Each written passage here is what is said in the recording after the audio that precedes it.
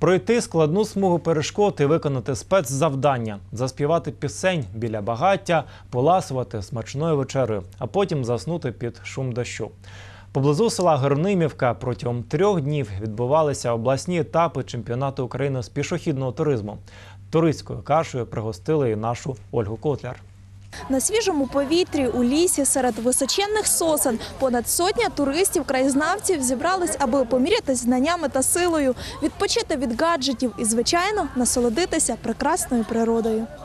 Вікторія понад 4 роки займається туризмом. Ще з дитинства цікавилась різними мапами, маршрутами. Тепер знання з орієнтування на місцевості стали дівчині у нагоді. З власного досвіду Віка радить брати у похід лише найнеобхідніше. Я взяла спальник, щоб спати, крімат. Е, е, Мало одягу, адже це займає багато місця. Спорядження мені дали ну, систему, щоб лазити, карабіни, ну, кросовки, щоб перезуться, теплу кофту. Всі діти різні, у кожного свої мрії і бажання. Але тут, на природі, без телефонів, комп'ютерів і планшетів, між ними народжується справжнє спілкування, щира дружба й командний дух, каже Ігор Щербак. Вони здружуються, по-перше. По-друге, вони е, спілкуються вживу, а не по телефону, як досить часто це зараз відбувається за допомогою гаджетів, контакт, Фейсбук і так далі. Тобто вони спілкуються між собою, е, заводять нові знайомства із іншими районами, областями. На обласні етапи чемпіонату з пішохідного туризму та всеукраїнського зльоту юних краєзнавців з'їхались команди майже з усіх районів області.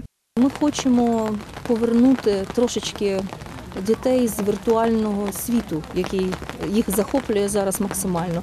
Ми хочемо ще раз відновити добрі традиції перебування дітей в природних умовах і, звичайно, щоб у них був е, змагальний такий азарт.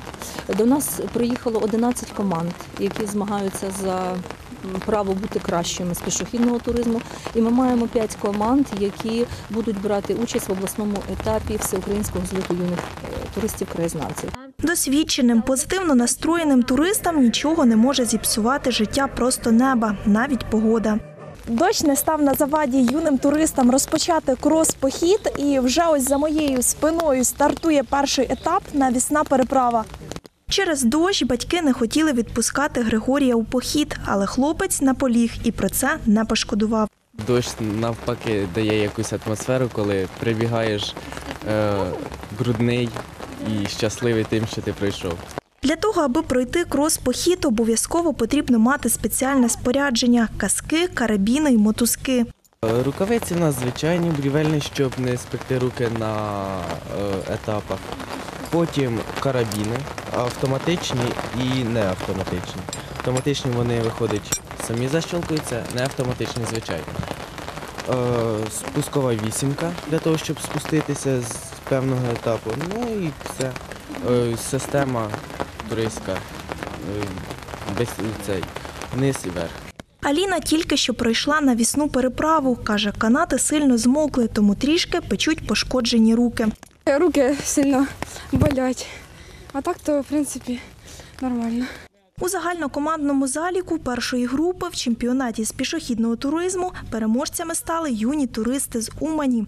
Серед краєзнавців перемогу здобув Золотоніський район.